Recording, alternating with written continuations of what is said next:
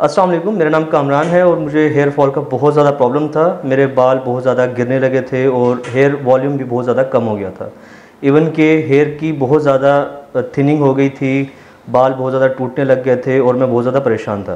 तो recently I got to know about Alkhaleej clinics और इनकी डी एच ए ब्रांच को मैंने विज़िट किया। यहाँ से पी आर बी के मैंने दो सेशंस लिए, जिसके बाद मेरे हेयर फॉल बिल्कुल कम्प्लीटली स्टॉप हो गया। मेरे हेयर की रीग्रोथ होना स्टार्ट हो गई।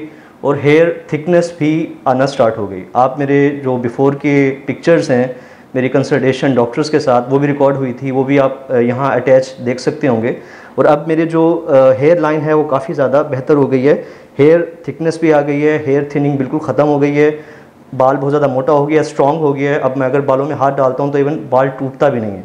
तो I would highly recommend everyone कि जिसको हेयर फॉल का प्रॉब्लम है हेयर थिनिंग से वो परेशान है वो बजाय इसके कि अपने बालों को कम्प्लीटली बॉडनेस की तरफ़ लेके जाए, वो पीआरपी को ज़रूर ट्राई करे। पीआरपी एक बहुत ज़्यादा इफ़ेक्टिव ट्रीटमेंट है आपकी हेयर की रीग्रोथ के लिए, आपकी हेयर फॉल को स्टॉप करने के लिए। जिसको भी हेयर फॉल का प्रॉब्लम है, वो डेफिनेटली अलखलीज डीएचए क्लिनिक को विज़िट करे और अपने हेयर फॉल को कम्प्लीटली स्टॉप करे। Thank you so much